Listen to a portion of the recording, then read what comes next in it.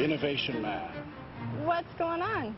Innovation Workshop. And your job is, Kick off the innovation agenda. Fire up the troops for innovation. hence the I. I for ideation. I for incubation. I for invigoration. I for implementation. Oh, I knew I forgot something. It's good to get some footage of our actual do group things meetings. differently. And for us, it's real critical that the things that we do differently need to matter for the consumer. They need to have a relevance. They need to give value.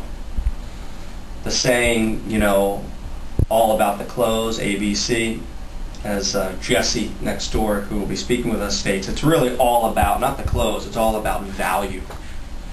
So my, my, my message here is that as we sort of clean up and mature our business, it's very important that we constantly remind ourselves that whatever we are doing in the space of our store, it needs to be with the purpose of giving that guest value.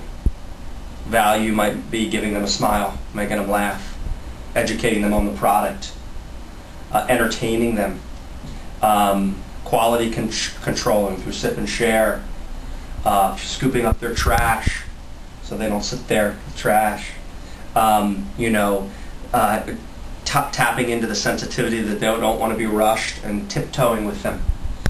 Um, we could go on and one on. is born with. Yeah. Part of it is what one learns, who you're exposed to. Alright, we'll take, uh, where do you wanna go? Let's go glo- going global for ten cents. Okay, ready? Um, country Dubai is in. Haha. It's, uh, you wanna say or you- I think it's, uh, like Saudi, uh. No. No. Eh, Alright. I know, it's, uh, Negative. Come on, guys. No, it ain't 10 seconds yet. No, Uh, it has you know been what? 27. What is Code Hollywood? Got it.